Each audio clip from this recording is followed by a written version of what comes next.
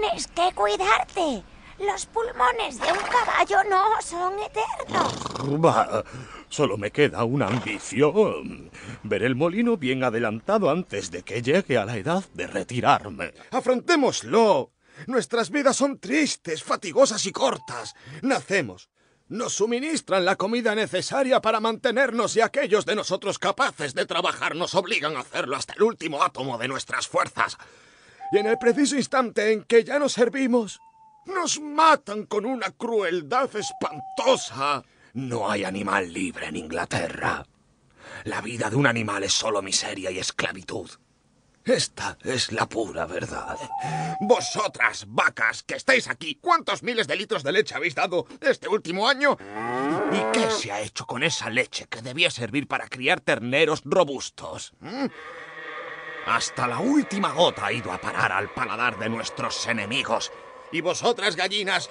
¿Cuántos huevos habéis puesto este año y cuántos pollitos han salido de esos huevos? Todo lo demás ha ido a parar al mercado para producir dinero para Jones y su gente. La guerra es la guerra. El único ser humano bueno es el que ha muerto. Yo no deseo quitar una vida. Eliminad al hombre. Y el producto de nuestro trabajo nos pertenecerá. Una de las vacas rompió de una cornada la puerta del depósito de forrajes y los animales empezaron a servirse solos de los depósitos. En ese momento se despertó el señor Jones. De inmediato él y sus cuatro peones se hicieron presentes con látigos, azotando a diestro y siniestro.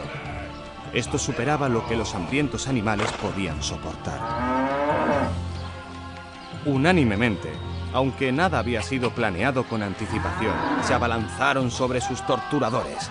Repentinamente, Jones y sus peones se encontraron recibiendo empellones y patadas desde todos los lados. Estaban perdiendo el dominio de la situación porque jamás habían visto a los animales portarse de esa manera. Aquella inopinada insurrección de bestias, a las que estaban acostumbrados a golpear y maltratar a su antojo, los aterrorizó hasta casi hacerles perder la cabeza. Al poco, abandonaron su conato de defensa y escaparon. Un minuto después, los cinco corrían a toda velocidad por el sendero que conducía al camino principal con los animales persiguiéndoles triunfalmente. La señora Jones miró por la ventana del dormitorio, vio lo que sucedía, metió precipitadamente algunas cosas en un bolso y se escabulló de la granja por otro camino. Mosés saltó de su percha y aleteó tras ella, graznando sonoramente. Mientras tanto, los animales habían perseguido a Jones y sus peones hacia la carretera y, apenas salieron, cerraron el portón tras ellos estrepitosamente. Y así, casi sin darse cuenta de lo ocurrido, la rebelión se había llevado a cabo triunfalmente. Jones fue expulsado y la granja Manor era de ellos. Aquí.